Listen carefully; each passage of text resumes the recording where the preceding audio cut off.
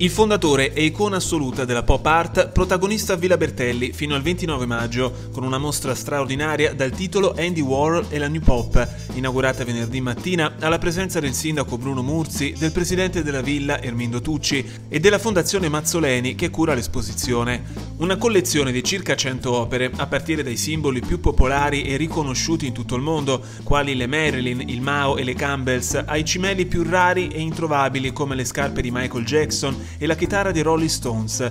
Le opere più amate dell'artista statunitense, fra inediti e chicche, sono ospitate al primo piano, mentre al secondo si trovano invece le opere di sette artisti pop emergenti. Villa Bertelli fino adesso non ha mai eh, fatto delle mostre che potevano in qualche modo guardare al pop, guardare proprio al, al moderno, una mostra che, che nasce fuori stagione e per cui eh, coglie nel segno nel senso che dobbiamo dare anche un, un significato turistico. A quale pubblico parla questa mostra?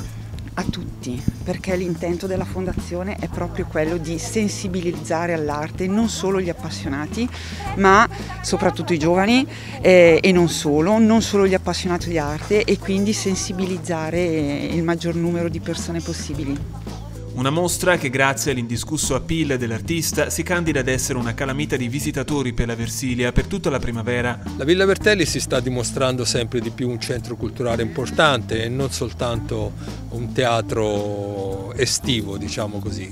Quello che eh, la gestione di Ermindo Tucci ha dato alla Villa Bertelli è stata un'apertura tutto l'anno, eh, tutta una serie di eventi storici eh, culturali. La mostra rimarrà a Villa Bertelli fino al 29 di maggio, gratuita per le under 18 e per i residenti a Forte dei Marmi.